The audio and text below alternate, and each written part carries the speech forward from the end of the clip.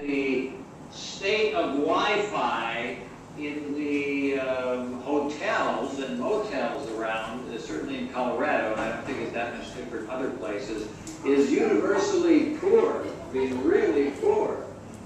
Um, Fortunately, I had my little um, MiFi along, and in almost every case, and almost every place, I had to revert to using this over the Wi-Fi that was provided. In most, in most cases, the place I went to had free Wi-Fi.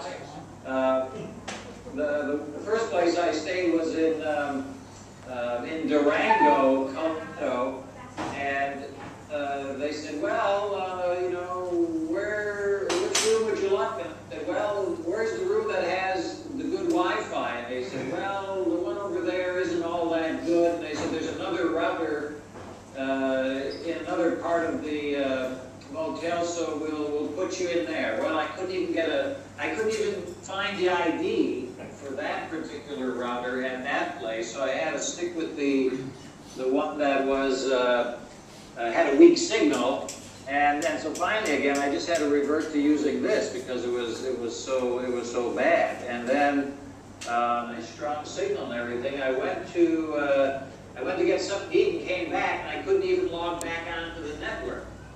And I think uh, somebody told me that what happens with some of these chains is that they really only have their whole network.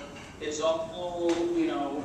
Um, almost so this uncomplicates that a lot, and uh, it, it's worked out quite well. Um, it's Bluetooth, so it uh, syncs very nicely. Sound quality is good. I, I charge it up every day. I think you, I get about um, four hours, uh, maybe four hours out of, out of this, which is which is certainly adequate. So